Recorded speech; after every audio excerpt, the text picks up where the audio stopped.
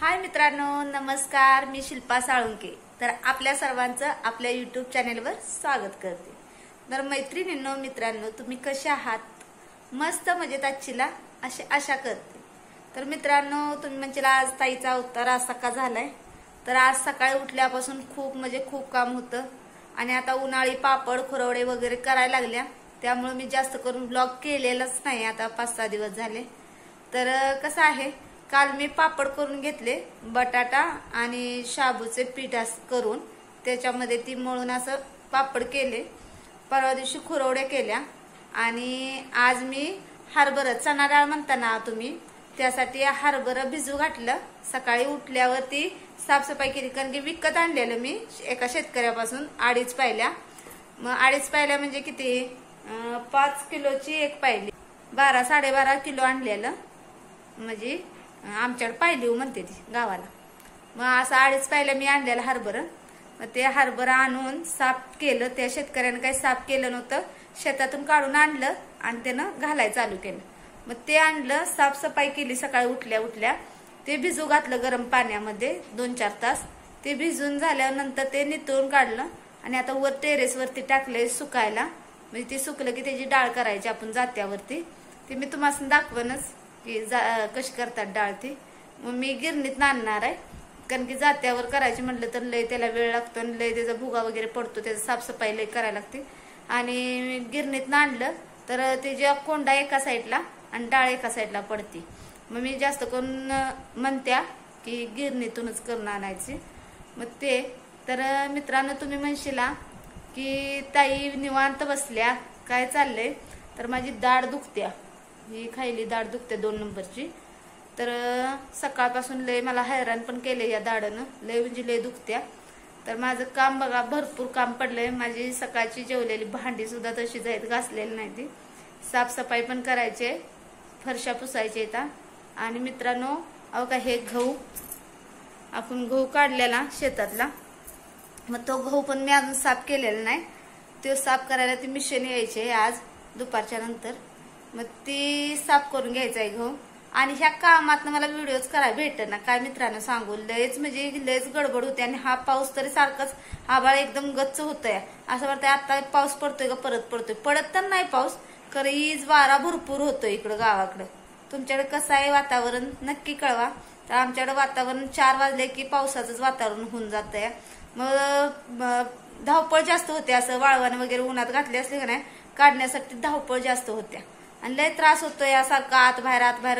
आणि आमच्या तर टेरेसवरनं खाली खाईनं वर वरनं खाली लय म्हणजे त्रास होतोय करायला. आणि असं थकावट येते शरीरात की सारखं पळून पळून.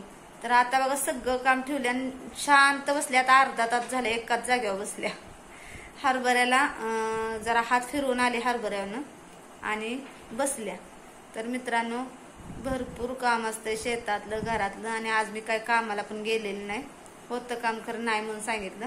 आता आठ दिवस काय बाहेर कामाला जाणार नाही. कारण की आमचं शेडवरती शेडचं काम चालू आहे. कोबा गव्हाण वगैरे करायची. ती सगळं फोडलं या. पहिला कोबा वगैरे होता तो. आणि जनावर आता दोन गाय अजून वाढवायचे आहेत त्यामुळं गोटा जरा मोठा करायचा चाललाय. मग ते ते असतात शेतावर. मलाही घरातलं काय झाकडाळ वगैरे काहीतरी आपलं आहेच की गव्हाचं इकडं तिकडं काय ना काय करावं लागते मग घरात बसलं तर घरकाम सांगते. शेतात गेलं की शेतकाम सांगते. आणि त्यातून तुमच्यासाठी मी एखादा ब्लॉग सोडावं म्हणलं तर ते करा व्हिडिओ करायलाच वेळ भेटेन आम्हाला मित्रांनो. आणि तुमचा सपोर्ट मला भरपूर पाहिजे मित्रांनो कारण की एक मी शेतकरी आहे. मग एक शेतकऱ्याला तुम्हाला पुढं घालवायचंय. मग मला सपोर्ट तुमचा खरंच गरज आहे तुमच्या सपोर्टची. आणि मित्रांनो मैत्रिणींनो तुम्ही सर्वांनी मला सपोर्ट करा. की तुमची ताई ही कुठेतरी म्हणजे मला काय पैशासाठी नाही तर कशासाठी मी हा व्हिडिओ करत नाही. की आपली एक ओळख झाली पाहिजे. एका शेतकऱ्याची व्यथा मी तुमच्यापर्यंत मांडली पाहिजे. की एक शेतकरी काय करतो काय नाही. मला एवढा अनुभव नाही बोलण्याचा म्हणजे सांगण्याचा की बाबांनो शेतीपासून काय होतं कसं होतं? राजकारणी लोक काय करतात? आपले गावची काय करतात? हे सांगण्याचा म्हणजे मला एवढा काय अनुभव नाही. मी आत्ताशी म्हणजे किती सात आठ महिने झालं मी युट्यूबमध्ये आलेले आहे तुमच्या फॅमिलीत तर हळूहळू शिकेन की शेतकऱ्याची व्यथा तुमच्यापर्यंत कशी पाठवा म्हणजे कशी व्यक्त करावी. ते काय मला अजून काय जमना झालंय. अडकत अडकत आपलं चाललंय तर साधी सरळ सिंपल आपल्या आम्ही गावची लोक आहे. आपलं घ्या समजून. कसं असतंय काय? तर शेतावर पण भरपूर आहे काम.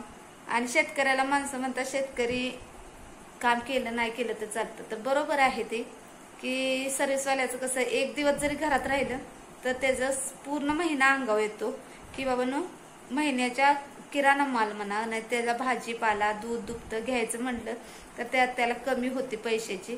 तसं शेतीत नाही.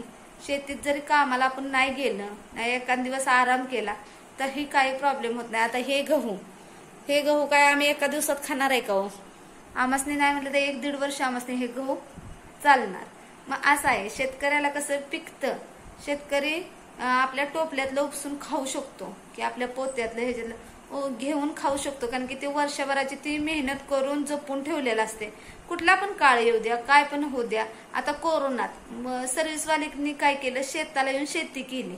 का तर तिकडं कोरोनात कोण कुणाची कुणाला ओळखच देत नव्हतं. जरी असलं तरी दिवसांदिवस कसा बाहेर पडतोय प्रत्येक जण आपापला विचार करत होतो. जसं शेतकऱ्याचं नाही.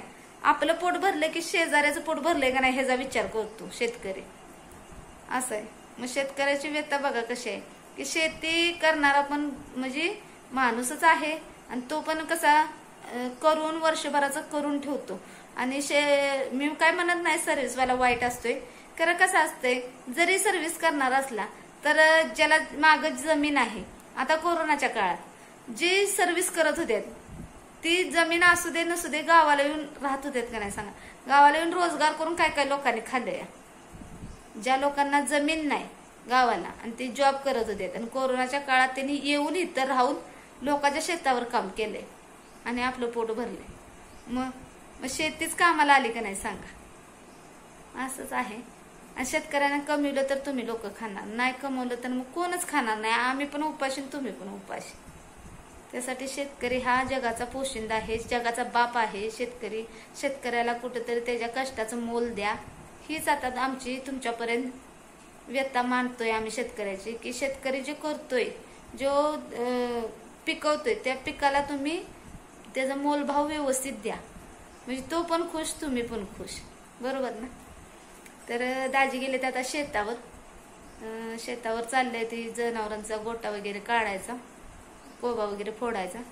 मला पण सांगितलेलं शेतावर यायला खरं मला लयच काम आहे. चला तुम्हाला दाखवते माझं काय काय काम आहे. परी बघा वर झोपल्या. तिला खाली सोडली की लयच दंगा करत्या. हे बघा किचनवर किती राडा पडलाय किती म्हणजे किती. आणि मी निवांत बसल्या. साफसफाई करायची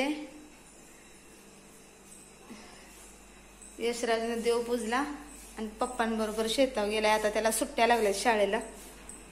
हे बघा इथं मी निवांत बसल्या.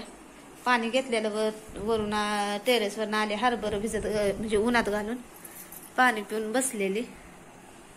आणि म्हणलं छोटासा ब्लॉग बनवावा आणि टाकावा. तर माझा हा छोटासा ब्लॉग कसा वाटला? कमेंटमध्ये नक्की सांगा. तर चला बाय.